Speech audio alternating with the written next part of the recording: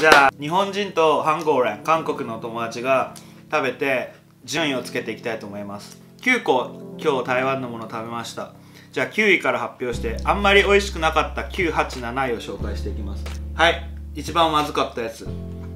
ダララー。ンダララー。ン Oh my god 啊，很重。うわ我以为这是最好吃，可是我觉得那个味道很重，外国人吃的比较不适合吧。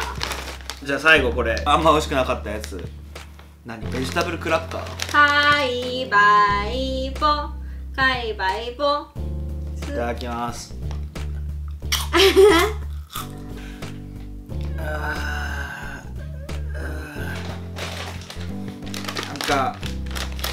うー体に重くなるこれ。うーって感じでちょっと。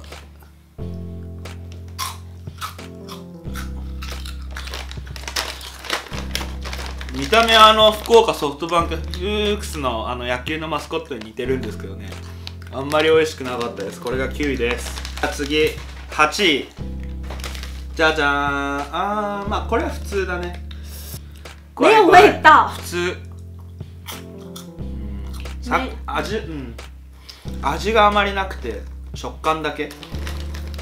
没有味道。8位です。パイパイ。7位。うーんこれね。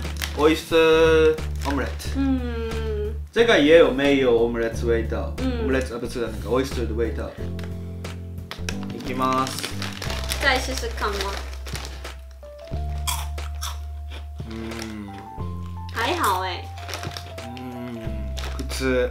普通。拜拜。バイよし、じゃあ次六五四嗯，三二一 OK。九八七六。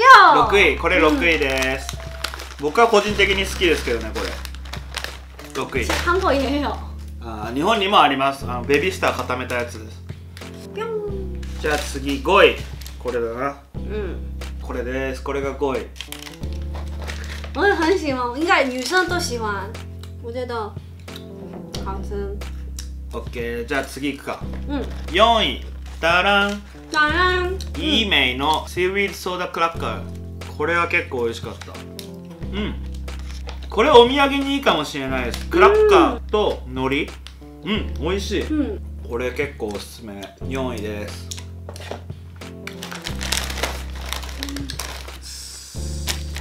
これやな3位ダラン一点やおつこの辛いやつ、うん、これめちゃくちゃ美味しい。一很辣可是没有辣美味しい。これは美味しい。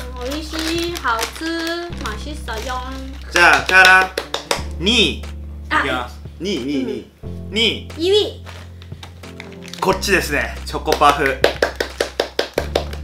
これ美味しい。美味しいよ。ん。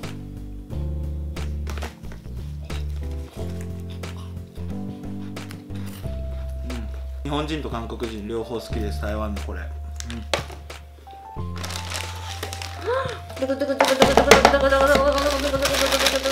じゃーん。これめちゃくちゃ美味しい。このトマト。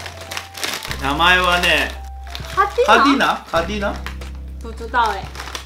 これは美味しい。あのポテトの中が空洞で。うん。美味しい。僕は個人的にこれが好きで。こう最好吃嗯，我也觉得这个好吃。こ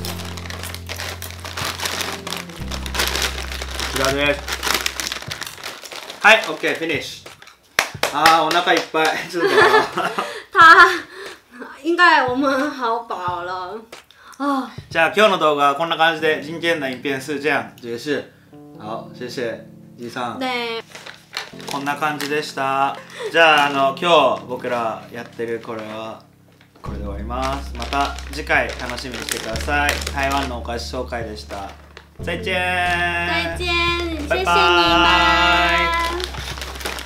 们，ナイス安 녕。